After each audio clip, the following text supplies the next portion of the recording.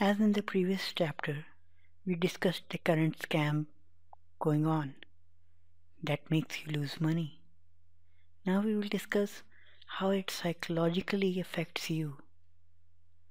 Once your stop loss hits, then what happens in your head? What do you start to think?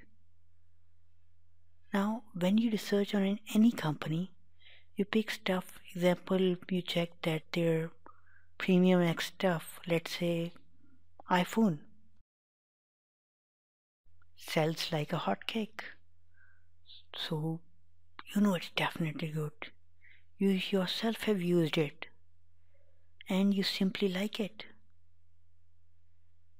Now you have seen other stock in that same industry and you know this stock is the leading stock and you're sure that you simply cannot lose money on this stock. Now your brain add this stock name to your favorite list. As your stop loss hits, your mind reminds you that this is a good stock.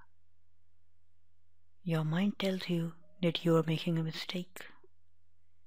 So you're making a mistake, you go on to buy it again. And as you buy, the other half of your mind tells you that hey, stop loss was made to stop losses and you bought again? Why? So you have like the devil's mind working on it. Your mind plays tricks on you. You face the dilemma of angel versus devil talk. In your mind, a battle starts. Your thinking doesn't let you sleep. You think, you think. You start to get angry on your kids or clients. Your mind starts to get to heat up. Your mind RAM starts to work on full speed and you have no answer to both the questions because technically both questions are right. Then either you doesn't place a second stop loss order or you sell again in the stop loss order.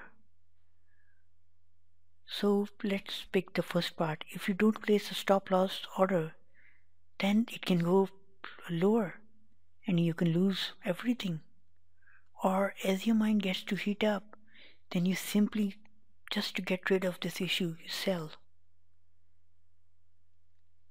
Now, the, in the future, we will be discussing a strategy that lets you buy your favorite stock, and in doing so, you can make 15 to 20% passive income with 0% risk.